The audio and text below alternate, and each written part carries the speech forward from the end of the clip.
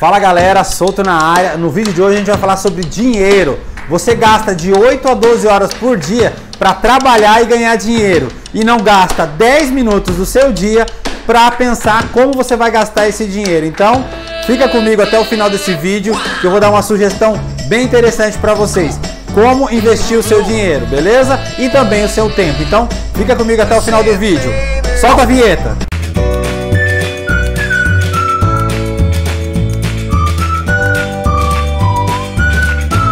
A maioria das pessoas elas não ficam bem financeiramente, não é porque elas não ganham dinheiro, e sim porque elas gastam mal o dinheiro que elas ganham. Elas administram muito mal os seus recursos. A maioria das vezes, quando ela recebe o salário, é para tampar o buraco que ela já deixou. Ou seja, ela gastou aquele dinheiro, pegou o limite ali, já usou o cartão, já gastou mais do que ela tem para receber. E aí ela fica naquela bola de neve que ela não consegue sair dessa vida. Ela não consegue investir porque ela gasta mais do que consegue ganhar tá? Então, esse é o grande desafio. É o que fazer quando você pegar o dinheiro. Para você se dar bem financeiramente, para você conseguir sucesso financeiro, você não precisa ser nenhum gênio.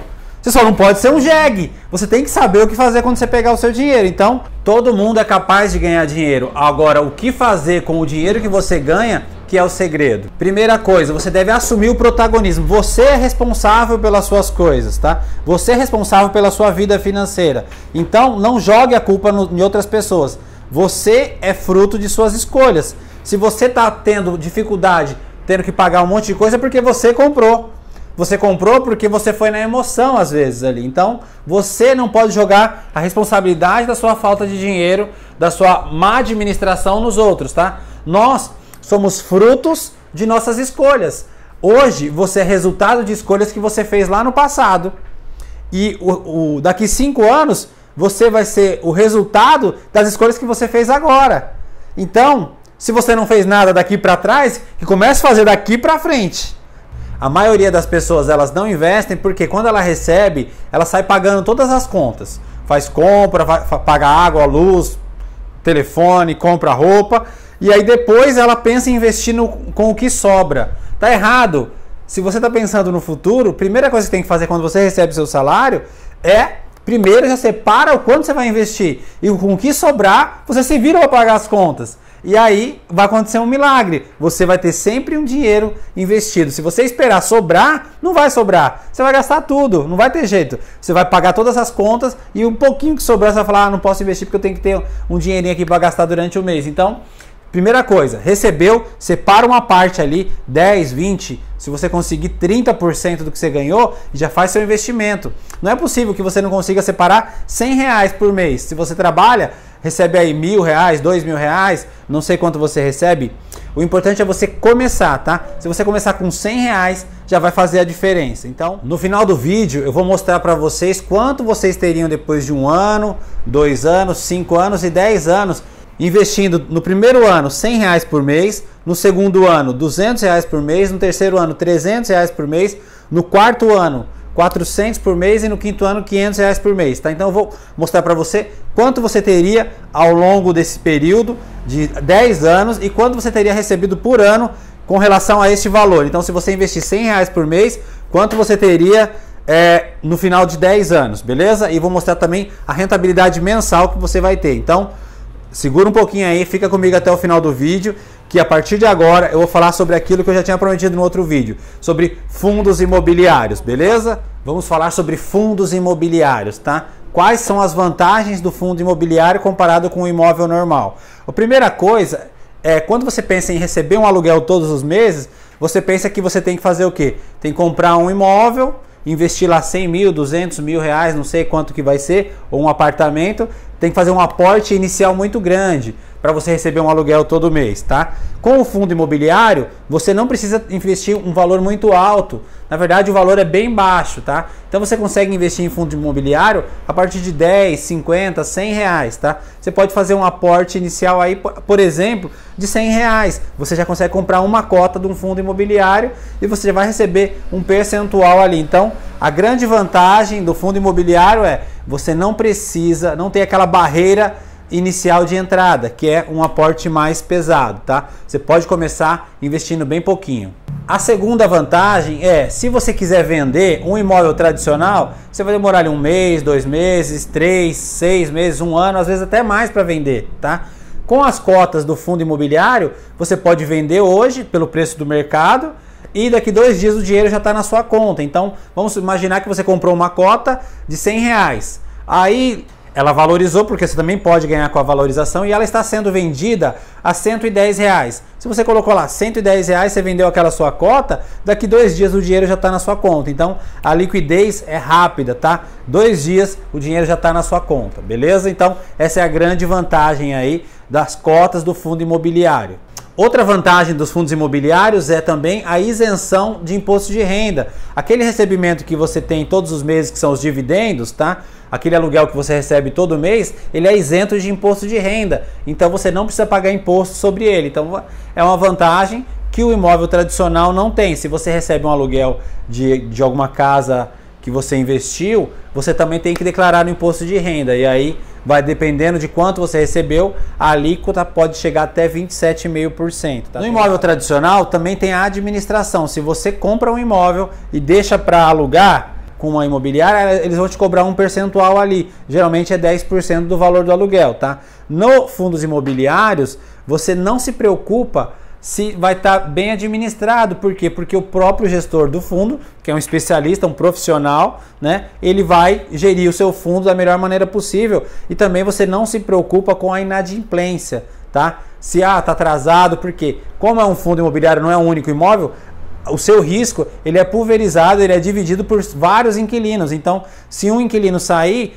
logo o gestor vai se preocupar e vai repor lá, o, vai, vai colocar um novo inquilino e você não tem que se preocupar com isso, nem com a inadimplência e nem com a vacância. É o risco de o imóvel ficar vazio. Se você tem um único imóvel investido lá, 200 mil reais naquele imóvel, e o seu inquilino ele sai, você perde totalmente o rendimento, tem que alugar novamente. Já no fundo imobiliário, você não corre esse risco. E quando sai um inquilino ou outro, por ter vários inquilinos, centenas às vezes, o, o que diminui ali o seu rendimento mensal é mínimo, então você nem sente a diferença, beleza? Tá? O fundos imobiliários, bem administrado, ele paga ali como um reloginho todos os meses você vai receber, mesmo que um pouquinho, de acordo com o seu aporte, né? De acordo com as suas cotas, você vai receber todo mês ali como um reloginho aquele valor, beleza? Então é mais vantagem com relação à inadimplência, é menos risco. No fundo imobiliário e no imóvel tradicional também tem uma outra coisa que é uma taxa de administração. Se você, que nem eu falei, se você compra um imóvel e deixa alugado, a imobiliária vai te cobrar lá 10% sobre o valor do aluguel, certo? Na, na, no fundo imobiliário também tem uma taxa de administração, tá? Uma taxa de administração que ele varia de, de 1 a 3% ao ano, tá? Sobre o valor investido. Então, se você colocou lá, por exemplo, 10 mil reais, vai ser de 100 a 300 reais por ano que vai ser cobrado de administração, que ainda assim é menor do que os 10% que você deixaria para imobiliária no imóvel tradicional. Outra pergunta que as pessoas falam: quanto que eu preciso ter investido para viver de renda? Depende de quanto você quer receber, né? Então, se você quer receber 100 reais por mês, você tem que investir X. Se você quer receber mil reais por mês, você tem que investir Y. Então, conforme o que você quer receber, você tem que fazer os aportes maiores, tá? Então, a partir de agora, eu vou passar para vocês quanto você recebe todos os meses, quanto rende um fundo imobiliário. Por exemplo, esse que eu vou colocar na tela aí, ó.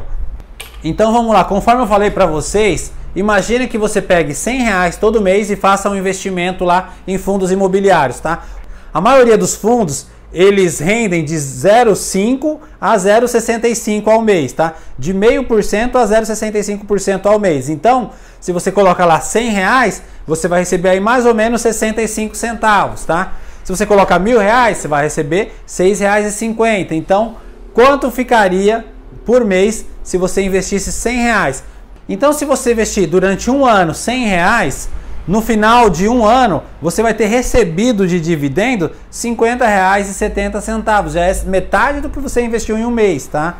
E você teria no final de um ano R$ 1.200, sem contar a possível valorização do seu fundo, tá? E teria recebido de aluguel R$ 50,70. No segundo ano você já melhorou um pouquinho, você não investe mais 100 reais, você já coloca 200 reais por mês. Depois de dois anos, você vai ter R$ 3.700 só de dinheiro investido. sem contar a valorização.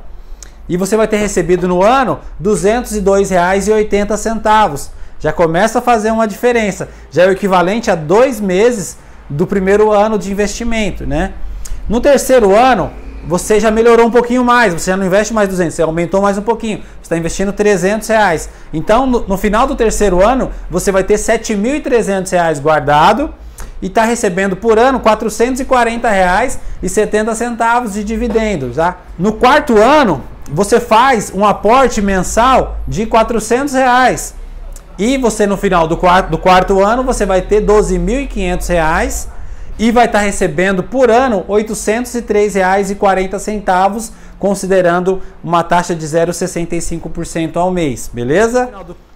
Então, no quinto ano, você faz um aporte mensal de 500 reais, no final do quinto ano, você vai estar lá com R$ 18.500 e vai estar recebendo um dividendo anual de R$ 1.228,50. E se você continuar com 500 reais todos os meses, no final de 10 anos, você fazendo um aporte de todo mês de 500 reais, tá? A partir do quinto ano, você vai ter 50 mil reais guardado e vai estar recebendo de dividendo por ano R$ 3.568,50. Isso eu não estou nem contando que você pode pegar esse seu dividendo que você recebe todo mês e que talvez você não esteja precisando dele agora, né? Porque você está pensando lá no futuro. Se você pegar esse dividendo e fazer novos aportes, você vai ter muito mais do que esses 50 mil reais e vai estar recebendo muito mais do que 3.600 reais por ano aqui. Então, o segredo é você pegar o dinheiro, a rentabilidade, o dividendo e reinvestir. E colocando todo mês mais aporte aí do seu trabalho, da sua renda mensal, tá? Isso é tranquilidade financeira, você colocar o dinheiro para trabalhar para você e não você trabalhar pelo dinheiro. Espero que tenham gostado do vídeo. Se você ficou até aqui é porque gostou, então se inscreve no canal aí, dá um like e compartilha com os familiares, os amigos aí, manda no grupo do WhatsApp para a gente fazer esse vídeo chegar, essas informações chegarem para o máximo de pessoas possíveis, beleza? E nos vemos quando? Nos vemos no próximo vídeo. Até mais!